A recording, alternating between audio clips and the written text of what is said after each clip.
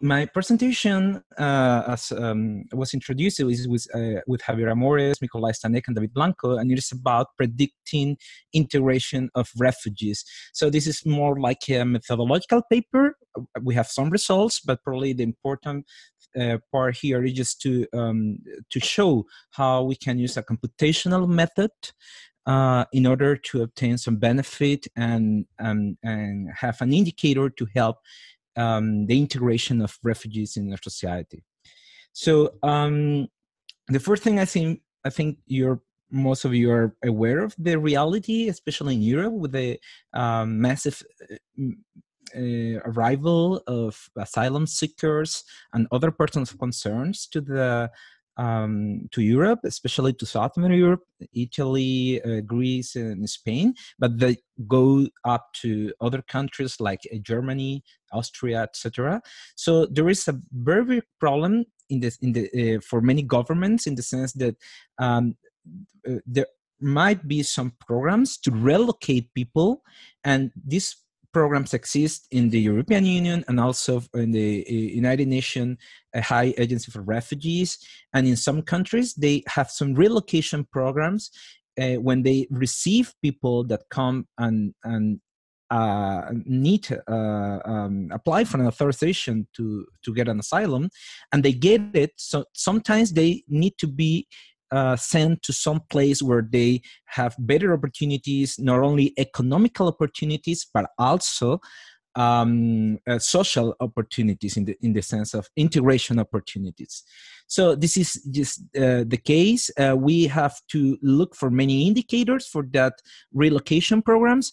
Um, but uh, one of these indicators is integration. Integration is a very very broad concept uh, social integration could be seen from many perspectives. So uh, probably we are try, trying to take one of those perse- uh, perspective in order to um, to get a variable that can help us to uh, tell which place is better com- in comparison to another, which place is better uh, for an asylum seeker to go there and to have a, a, a better opportunity to uh, to integrate.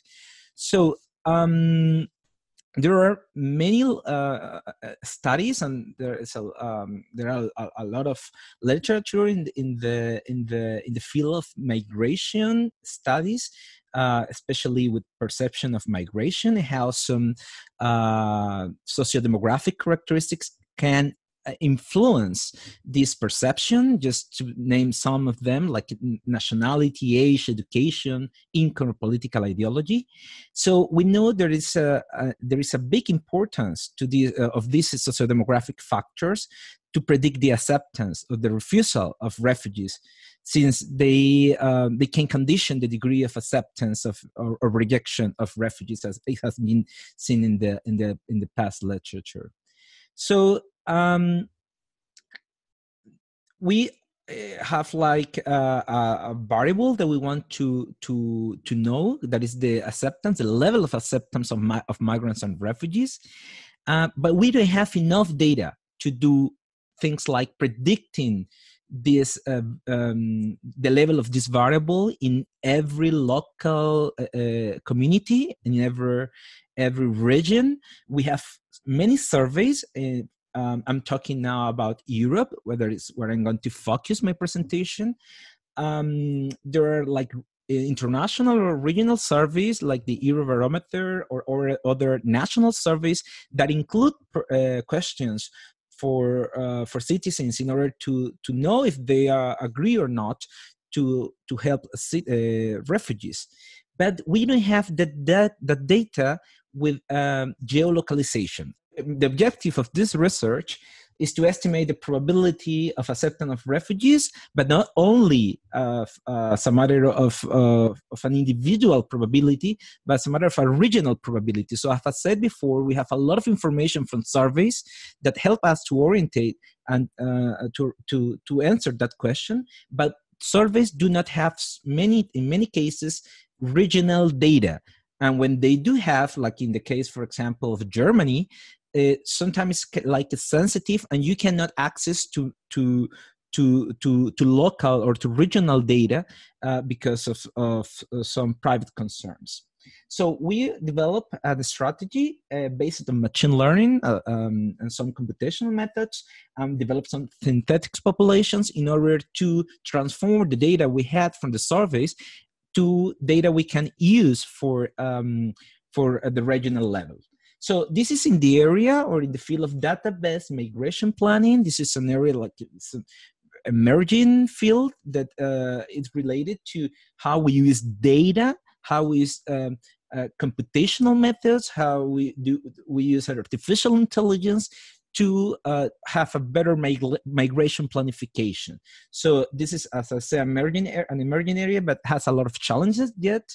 And um, uh, we have i mean the, the the core of this is to have uh, a lot of data or some good data in order to get good insights so there there's past experience in, in this area for example with twitter uh, there are some studies that I uh, showing here on the slide that use Twitter to uh, to predict mobility patterns or use Twitter to even predict social integration of refugees.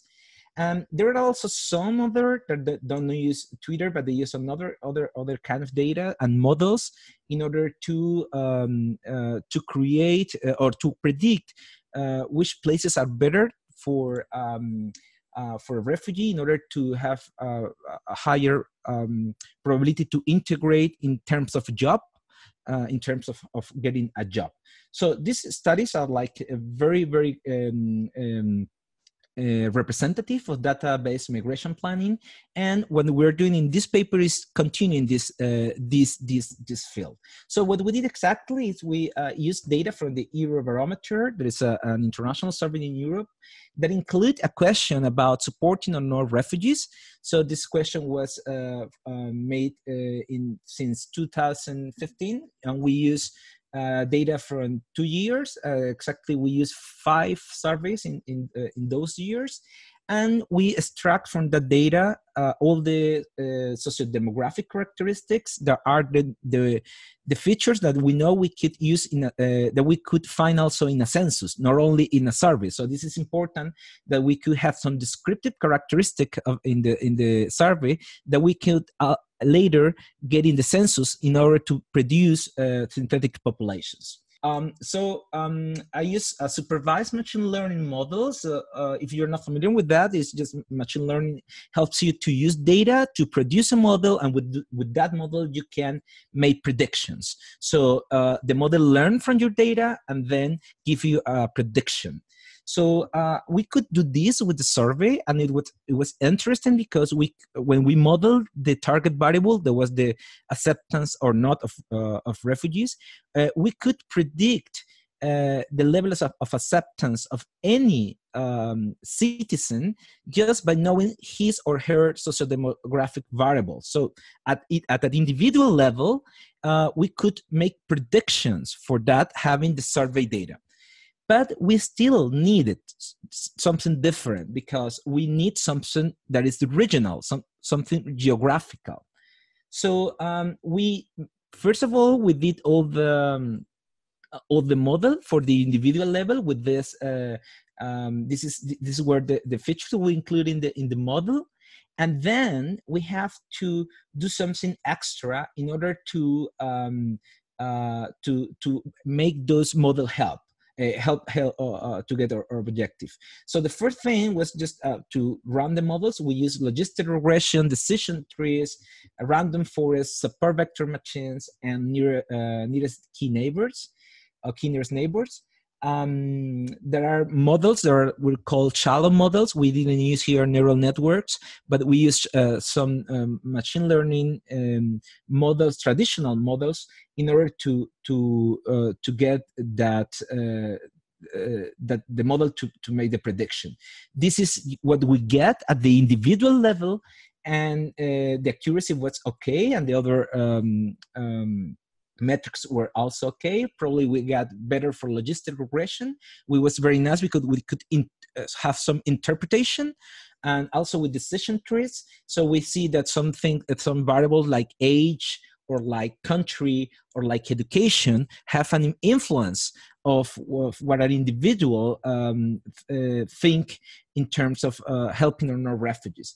So um, to overcome this uh, the limitation of this individual part we create synthetic populations. This is another computational method method that is not probably very popular in social sciences but um, is mm, probably more in the uh, you can see in the field of transportation. Is just creating artificial uh, populations. When you when you don't know the population you can estimate how any individual of that population could be. So you take the data from the census of a, of a, of a city of a region or of a country use the, the data of the census as an a priori probability and then create that artificial population and um, then you could apply any model you use for the individual level. So the thing we used in the past uh, in, in, in the last uh, in, in the last step of the of the study uh, predicted at an individual level the um, the level of acceptance of refugees we then use uh, uh, use that model to do it for the artificial individuals we create in the synthetic population stage so we create that for 271 uh, geographic regions in Europe. That is something that is is is like a little bigger like than a city. It's like I don't know. Each country has a different name for that, and uh, so we we did um, that. Thank you. I have three minutes. So this is um, what you see is just uh, the way we create these synthetic populations and um, we create a very big database with all that those predictions. It was like a, a, very big thing. And we have results. We have results for every model. So we could compare models. What you see there are the six models that we we use. And we could see that there are of course difference in the in the in the prediction models which is also natural uh, we see also that we have differences between the countries and it's natural because we saw that in the in the in the survey so there is nothing new that uh, um, but we also see uh, that we could see more interesting thing when we go to the very regional level. That, that is what we don't have now in the surveys. So what we what you see here in these three southern European countries, Spain, Italy, and Greece, is that we could find the specific level of prediction for for um, for for the regions. And just to have a very very quick look, we see that regions that are more populated, uh, like for example in Spain, Madrid uh, or Catalonia, or in Greece, Thessaloniki and Athens, or in Italy, Rome and Milan. Um, this or the, the cities that we get more um, levels of acceptance of refugees.